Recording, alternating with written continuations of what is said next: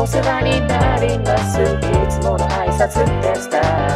今日もイグザムのイグラジの時間イグザムラディオラディオ始まるよははは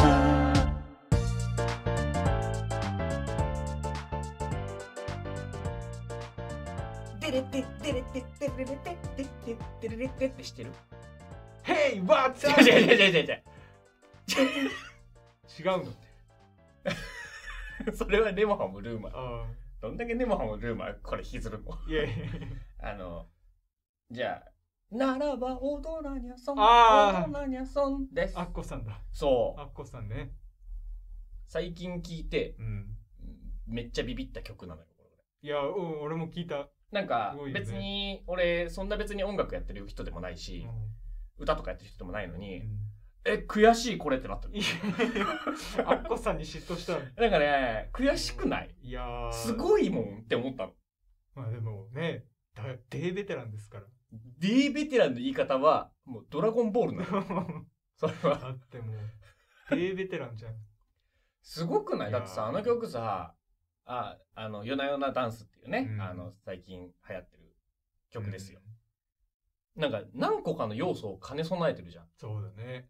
だ曲確かあれフレデリックさんがあれだよね。うん。楽曲提供してて、その「踊ループ」とかを出してる「踊ってない夜を知らない」っていうキャッチーな感じ、であの今風な曲調だよね、だから TikTok とかそういうのでもこう使えるような曲調、で、MV はちょっと。そう、ね MV は歌い手みたいな感じじゃん。そうで、ダンスもついてて、うんそのダンスも上半身だけなのね。うんはい、もうこれは TikTok 用です、みたいなさ、みんなが真似したくなる振りじゃん。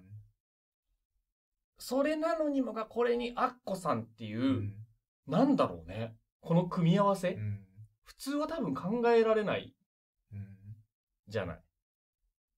すげえ感動してる。いや、かっこいいよね。マジでこれは聞くべきだよねって思った。うん聞かなきゃ損です。おーいまだ締めたくないから締めないよ。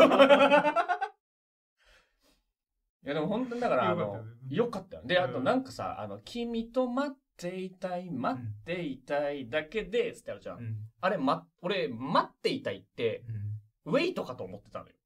あでも歌詞、待っていたいなん。何このダブルミーニングって。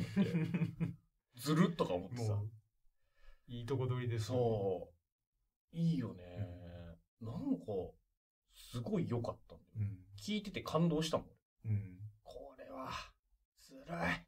ってなぜかなったんです。辛い。体が乗りたくなる感じ。そして今のこの、今時って言っちゃうとあれだけど、うん。感動しました。素晴らしいと思いいい作品だよね。なんか、ここ最近一番こう、って、うまっってなった感じ。ダンスで言えば、ネモハムルーマーなんだけど、うんそういう意味で、うっってなったのは、うなんだこれってなったのは、曲だともす。う、夜な夜なダンスかな。いやなんかあの、前に流行った、あれ。あれみたいな感覚。吉幾三のさ、ほら東京さ行くだ、行くだ、行くだ、ー、イグだ。